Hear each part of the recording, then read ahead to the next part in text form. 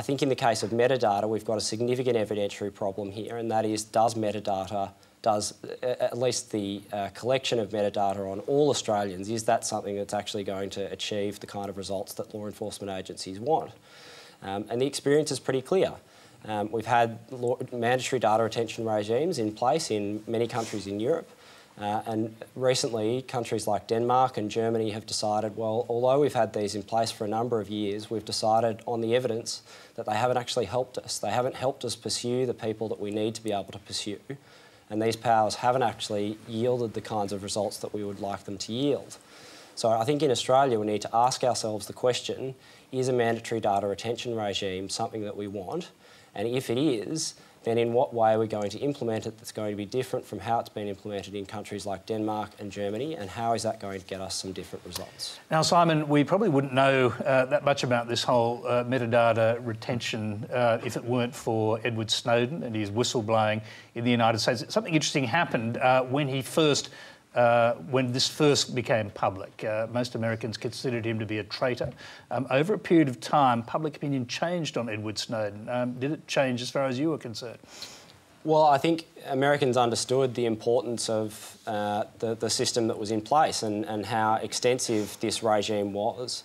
Um, there's, a, there's, a, there's a big difference between surveilling particular people who are suspected of wrongdoing and surveilling the entire population. And I think that the way that we want to move is to give law enforcement agencies the kind of powers that are going to allow them to go after people who are suspects, criminal suspects, but allowing for the kind of surveillance that we've seen in the United States is certainly not the direction that I'd like Australia to move in. So, very briefly, do you regard Snowden as a villain or a hero? Uh, well, I, I, think it's. I think that dichotomy is not all that helpful, but I certainly think that it was important that he did what he did, so that Americans were able to understand the extent of surveillance. Jen Robinson. Well, of course, given WikiLeaks' involvement in the Snowden case and the, the massive public interest in the disclosures that he that Snowden uh, released, we wouldn't know the extent of these surveillance pro programs, not just in the US, but also in, here in Australia, and the participation of the Australian government in Five Eyes. We know because of Edward Snowden that metadata um, this has sparked an entire review of the way in which NSA collects data.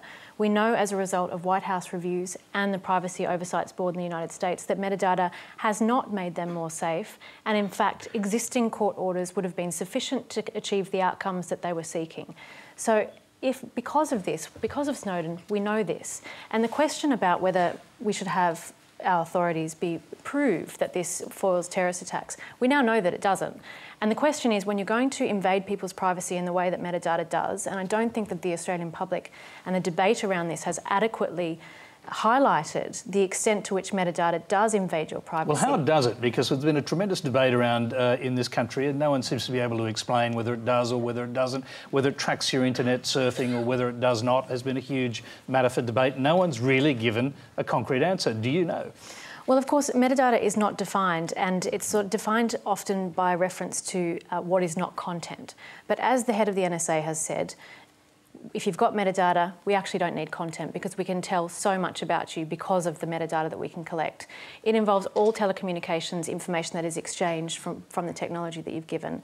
Now that can, Stanford University has shown that that can show a, a huge amount of information about us, our sexual preferences, um, our, our health, our health status, um, who we interact with, who our friends are, our political views. So do you want the government to know that you had a, an appointment with your gynecologist, you then had a call from the gynecologist, you then rang up and made an appointment with the abortion clinic.